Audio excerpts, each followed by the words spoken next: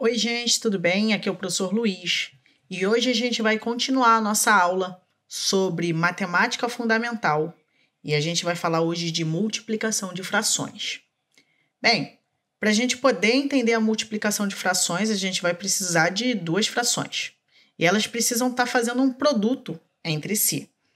A multiplicação de frações, para a gente realizar uma multiplicação, a gente vai ter que lembrar que as frações elas têm as, a parte de cima, que a gente chama de numerador, e a parte de baixo, que a gente chama de denominador. A parte de cima da, da fração, ela vai multiplicar a outra parte de cima. Então, toda vez que eu estiver fazendo uma multiplicação de frações, a gente vai multiplicar os numeradores e vai multiplicar também os denominadores. Então, de forma geral, parte de cima com parte de cima, parte de baixo com parte de baixo.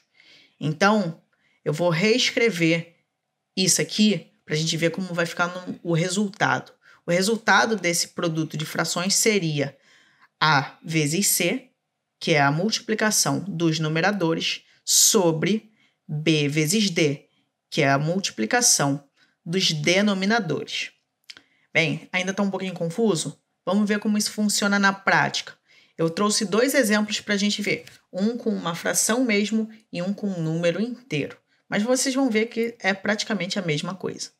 O meu primeiro exemplo, ele é 2 quintos vezes, esse pontinho aqui é vezes, tá, pessoal?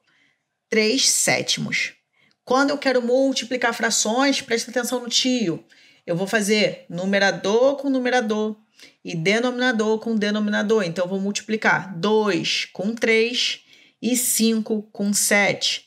Vou reescrever isso tudo junto para a gente poder ver. 2 vezes 3 sobre 5 vezes 7. 2 vezes 3, gente, dá 6. E 5 vezes 7 dá 35. Então, o resultado dessa operação vai ser 6 sobre 35 avos. Vamos agora para o último exemplo dessa aula. A gente vai ter uma fração vezes um número inteiro.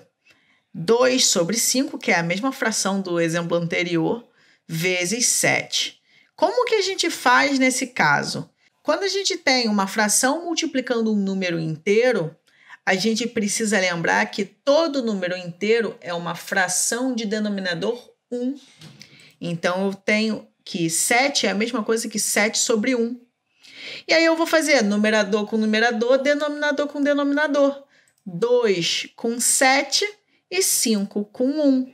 2 vezes 7 divididos por 5 vezes 1. 2 vezes 7, gente, 14. 5 vezes 1, 5. E assim a gente finaliza esse segundo exemplo. Eu vou ficando por aqui. Eu espero ter te ajudado com a multiplicação de frações. Na próxima aula, a gente vai ver sobre divisão de frações e quais são os possíveis casos, como que a gente pode fazer para dividir as frações, ok? Aguardo vocês na próxima aula. Agradeço a atenção. Fiquem com Deus e até a próxima. Ótimos estudos para todo mundo.